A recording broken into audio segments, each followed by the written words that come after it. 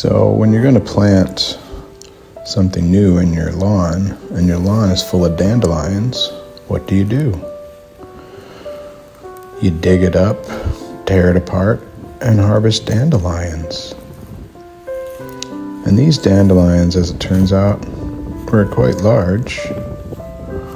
We got some that I would guess are probably in the five to ten year old range, maybe older, I'm not sure. So you can see here that the turf from the grass is quite thick, and I'm using the hori hori to cut it up and open it up so I can get the roots out. And then it is time to plant, but before planting, we need to sort of cut down the grass and make it so we can get in there with the shovel.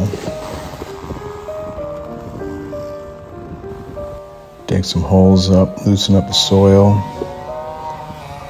and some echinacea babies that uh, mom gave me from her garden.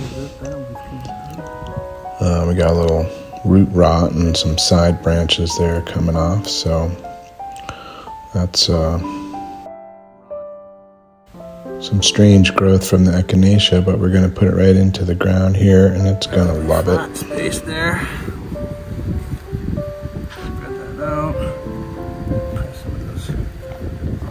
It's very important to make sure that your roots kind of go in some different directions so they have an opportunity to spread out into the soil. Otherwise, they can just end, end as a tangled mass in the bottom of a hole. So Echinacea, being a prairie plant, is very happy here in the, in the former lawn and grass.